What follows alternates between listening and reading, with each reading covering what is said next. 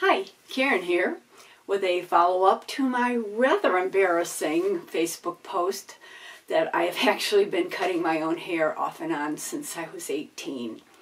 Though right now, maybe not so embarrassing with this lockdown crisis. Well, the biggest question that I got was, how the heck do I cut the back of my hair? Well, my answer, not very well, but I manage. So this is my offering to represent this horrible situation we find ourselves in. Now, I'm not saying that everyone should start cutting their own hair. Geez, I would love to find a great salon and stylist that I could feel comfortable with.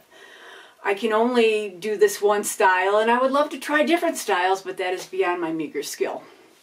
I've always loved having someone else do my hair, but due to my annoying anxiety issues and bad experiences, including a rather traumatic one that involved my daughter. Uh, I keep going back to cutting it myself. So my tools. I have a, a, cape, you know, or you can use a towel, anything to, you know, keep the hair off your back. I have a pair of scissors, and these are my father's. They're probably 50, 60 years old. Um, done well. Uh, and a comb. This again, this may be as old as those scissors. As you can see, I bought many other replacements and nothing has been as good as this. Um, and also a styling brush. Uh, what I do is uh, I want a uh, wash and go hot style. I use this to see which way my hair grows because uh, basically I want to wash my hair, blow it dry, two minutes, and go. So First off, this was a really big help to me when I, I found this out. If you could see this. Not not a bad not a here. How, how about that? Okay, what it is is you imagine your head like as if you put your you know the little kids that put their hand on the Van de Graaff generator and they have very fine hair and it all sticks out straight and all all areas. That's what you envision when you cut your hair. Now this is the one style. I have short hair, I have layered hair, and this is how I do it. And you basically just, you want to cut your hair exactly so it uh, parallels the shape of your head and and then down here. So this is this is what this is very good that I keep this in my mind when I'm doing it, and uh, that that this is this is it. This is it if you think about this and you, you cut according to this, okay, and now you will go on to see me actually trying to do this. So here goes. Thanks. I wanted to get a quick idea of the technique, the very quickly, the technique that you use it. It's really not that hard. Um, what you do is you use your fingers as your guide and you pull your hair up like this and you basically, where your fingers want to go, that's where you want to cut. And that's the, that's the whole, that's the whole basis. And then you go a little bit farther, and, and I mean, if you if you're getting a precision cut, you know they're going to do this a lot more. I, I here see just like that. You just follow it along like that, and that's the whole. That is the whole idea behind this. It's nothing harder than that. You just use your fingers to, like that.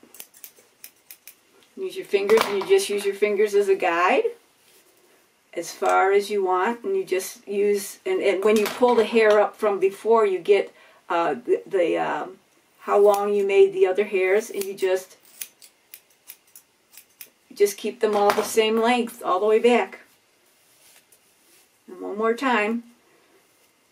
Use your fingers as a guide. It takes a little practice. I've been doing this a while. And there. And that is how you do that. First off, I start with a bowl cut, a modified bowl cut. Fortunately, I already um, cut my hair, so I'm not going to be able to cut much, but basically what I start with is I pull the hair all down round like this. That's how, because that's how the style I want. And I start with my bangs. And uh, do remember, especially if your hair is somewhat curly, that when it dries, uh, it's going to be a lot shorter. So it, you can always uh, always cut more, but you can't add it back later. So be, uh, and I just go around and just kind of frame my face like this. And then I don't like when the wind blows the hair into my eyes. So I like to go down the sides and again just framing my face. And I keep going. Keep going down. And I do that on the other side as well. You can see I already did it. I already cut it like this. And then a lot of you asked how I do the back. Well, one of the things, that's why it has to be longer in the back. Uh, so what I do is I pull the hair down like this, if you can see, and so that I could see it.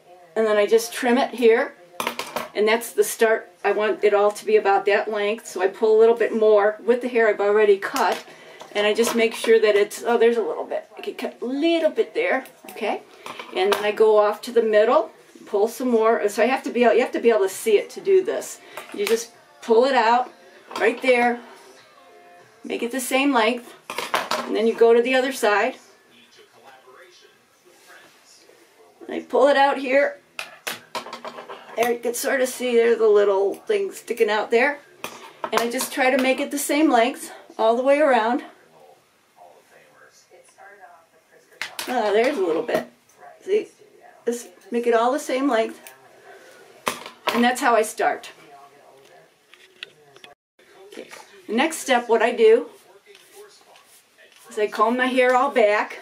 Oh, and by the way, I do I do wet my hair during the when I do the bowl cut. I do wet it, uh, but because and then sort of it's drying now, and that's fine because that's how I know. Since I'm, I'm not, I don't really know what I'm doing. Uh, I just kind of cut it as I see it. So my hair is starting to dry the way it, it actually um, will fall when it dries. Okay, now what I do from here is I start down the middle. Again, this is just starting, and you can see here,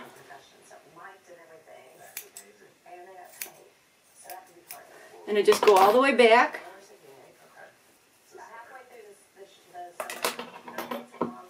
And I just, and I just use, you, you get, you grab a little bit of hair from what you did before. And this is not precision by any means.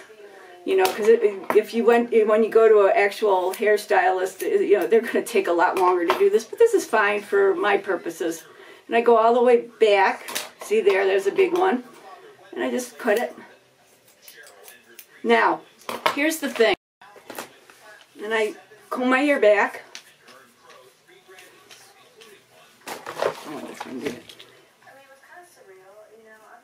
And then, if you want to have shorter hair, what I do is I just go around and then just imagine that, you know, you put your hand on one of those Van de Graaff generators and it went whoop like that, and I just go around like this. And I use the, the middle part as my my guide. Like here I could I could actually cut some here.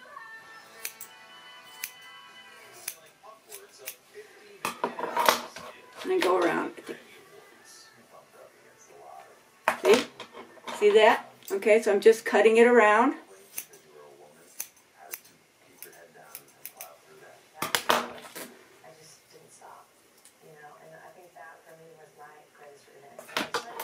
just try just starting you know the part that I cut before I use that as a guide and I go all the way around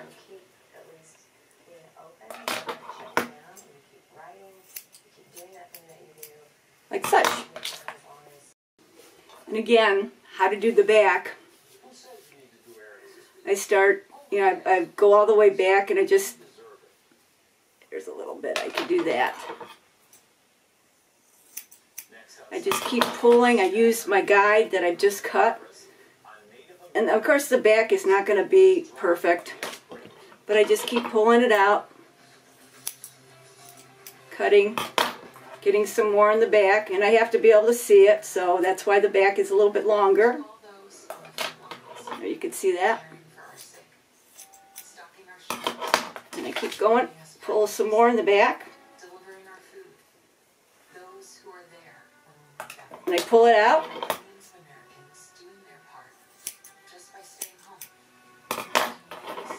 And I just keep going, take the bottom,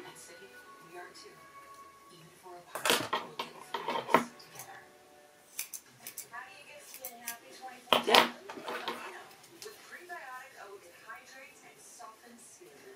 yeah, and I just pull, there, see? I pull it out, and then I cut it, and I go down, I pull it out so I could see it. There's a little bit right there. Clip it. The same thing. The back. There, that's something I can do here. Oh, look at that. Look at that. Look at that. Yeah, yeah. And you just use what you, the first part you cut as a guide.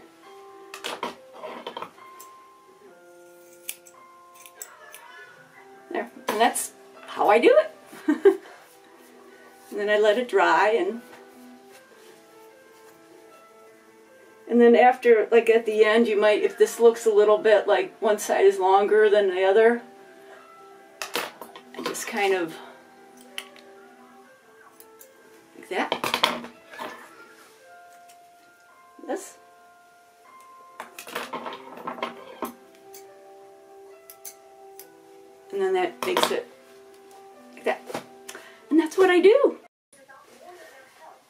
I noticed, I just looked and I saw this is longer than this.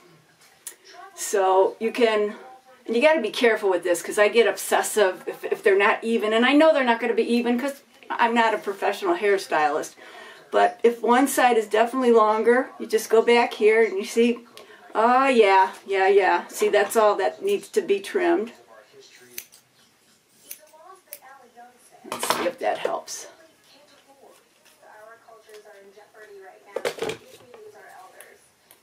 And also in my case, let's go here, okay, there, there, and there. So the two sides are a little more even.